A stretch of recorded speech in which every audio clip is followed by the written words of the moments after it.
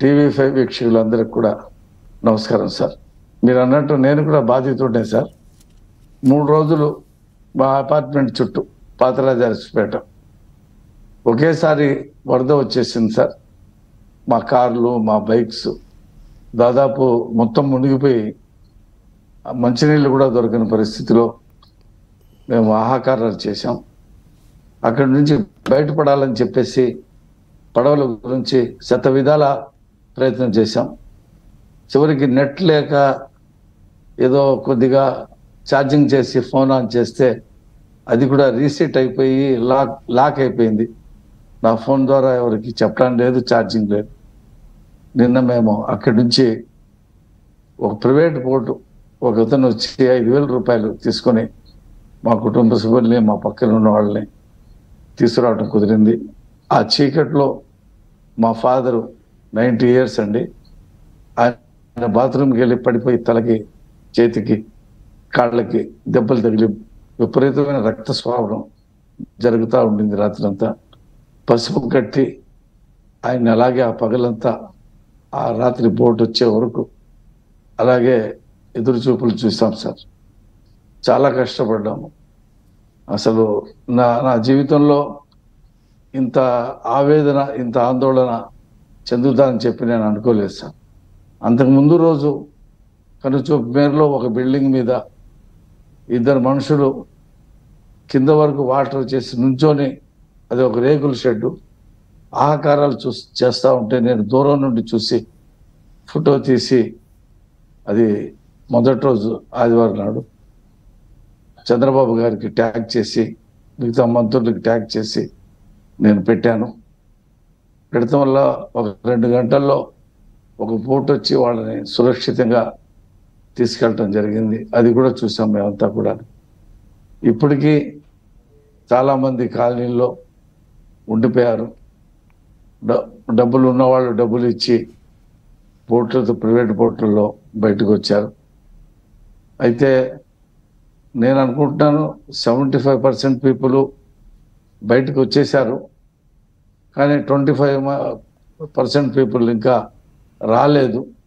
ఈ ప్రభుత్వం పంపిస్తున్నటువంటి ఆహారంగా నీళ్ళు కానీ అక్కడక్కడ ఇళ్ళలో ఉంటున్న వాళ్ళకి అది అందట్లేదు. ఒక సమూహంగా ఉన్న వాళ్ళకే అవి అందుతున్నాయి. రిమోట్ ఏరియాలో వెళ్ళట్లేదు. పడవలలో వెళ్ళి కొంతమంది జబ్బు పడిపోయి దిగలేని వాళ్ళు కూడా ఉన్నారు అపార్ట్మెంట్స్లో ఇళ్ళల్లో. వాళ్ళని తీసుకురావాల్సినటువంటి పరిస్థితి ఉంది. అది ఎలా చేస్తుందో ప్రభుత్వం మాకు తెలియట్లేదు. రెండోది ఏంటంటే control room command control room నెంబర్లు తీసుకొని ఫోన్ చేసినా సరే వాళ్ళు మెసేజ్లు రిసీవ్ చేసుకుంటున్నారు కానీ బాధితులు ఎవరైతే ఉన్నారో వాళ్ళ దగ్గరికి వెళ్ళేటువంటి పరిస్థితి లేదు. ముఖ్యమంత్రి గారు చాలా కష్టపడుతున్నారు. మూడు రోజుల నుంచి నిద్ర లేకుండా ఆయన పగలు రాత్రి కష్టపడుతూ ఉన్నారు. నేను నేను ప్రభుత్వ అధికారులు కానీ సిబ్బందిని కానీ నేను ఆక్షేపించను. ఇది మహా విపత్తు జరిగింది విజయవాడలో. దాదాపు ఐదు లక్షల మంది దీనికి బాధితులయ్యారు. ప్రభుత్వ యంత్రాంగం ఉండేది మహా ఉంటే ఐదు నుంచి పదివేల మంది ఉంటారు. ఇన్ని లక్షల మందికి ఒకేసారి అన్ని సహాయాలు అందాలంటే కూడా కష్టమే. ఇది ఒక ఇది ఒక కష్టకాలం విజయవాడ చరిత్రలో ఇలాంటిది చూస్తామని చెప్పారు. చూస్తుండగానే ఆదివారం నాడు ఏడున్నరకి మేమంతా కూడా బయటకు వచ్చి ఈ వర్షం పడింది ఏమైనా వరద వస్తుందా కరెంట్ ఆపేసి ఉందామా అని చెప్పి మేము మాట్లాడుకుంటూ ఉండగానే గంట లోపులోనే వరద వచ్చింది. అది అడుగడుగు అడుగడుగు పెరుగుకుంటూ పన్నెండు గంటలకెల్లా పది అడుగులకి వరద వచ్చేసింది సార్. మేమేమనుకున్నామంటే సాయంత్రం లోపల తగ్గిపోతుంది. లేదా ఏమైనా పడవలు వస్తాయి. ఆ పడవల్లో వెళ్ళిపోదామని చెప్పి అనుకుంటూ దాదాపు రెండు రోజులు ఆ చీకట్లోనే కరెంట్ లేక బాధలు పడ్డాం. ఎదురు చూపులు చూసాం చాలా కష్టాలు పడ్డాం సార్. కొంతమంది అయితే మేము ఆ పడవలో వస్తున్నటువంటి దారిలో ఒక టబ్బులో చిన్న పిల్లని చంటి పిల్లల్ని పెట్టుకొని మమ్మల్ని తీసుకుని వెళ్ళండి అని చెప్పేటువంటి మహిళ కనిపించింది సార్.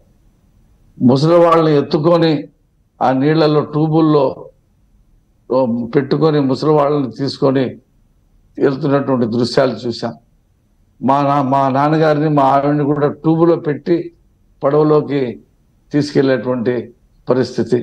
ఎంతోమంది యువకులు స్వచ్ఛందంగా మేము గట్టుకు చేరినప్పుడు వాళ్ళందరినీ అక్కడ తీసుకోవటం స్వచ్ఛందంగా వచ్చి పనిచేసేటువంటి యువకుల్ని చూశాను నేను.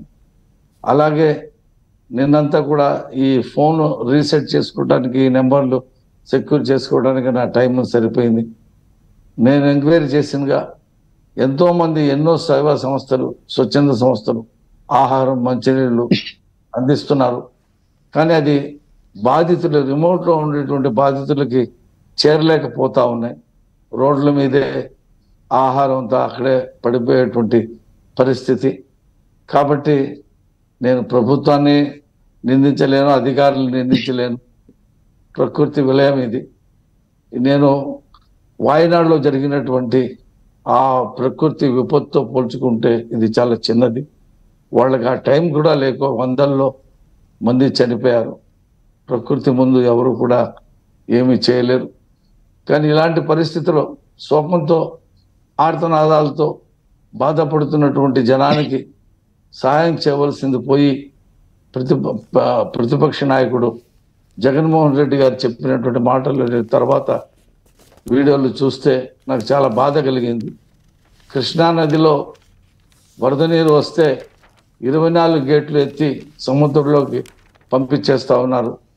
ఈ విజయవాడలో సింగినగర్ పాత రాజరసపేట కొత్త రాజరసపేట అలాగే దేవీనగరు మధురా నగరం ఇవన్నీ ఏరియాల్లో ముంచినటువంటి వరద అది కృష్ణానది కాదండి అది.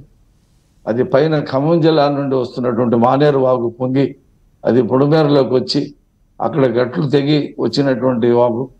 కానీ ఆ జగన్మోహన్ రెడ్డి గారు మరి అతనికి ఎవరు చెప్పారో సొంతంగా మాట్లాడాడో తెలియదు చంద్రబాబు గారి ఇల్లుని కాపాడుకోవటం కోసం కృష్ణా వాటర్ని ఇలా వదిలేశాడని చెప్పేసి చెప్పటం ఆ మాట విని నేను ఆశ్చర్యపోయాను.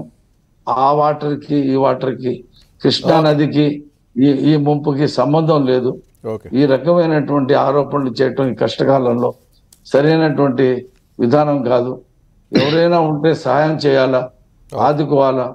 ప్రభుత్వానికి సహాయపడాలా? సూచనలు చేయాలా? ఇప్పుడు కూడా శవ రాజకీయాలు శవం ఎక్కడ దొరుకుద్ది అని చెప్పి రాబందులా వాలేటువంటి ఒక నాయకుడు ఈ రాష్ట్రంలో ఉండటం అనేది ఓకే రఫీ గారు మళ్ళీ మాట్లాడదాం ఆ అంశాల మీద.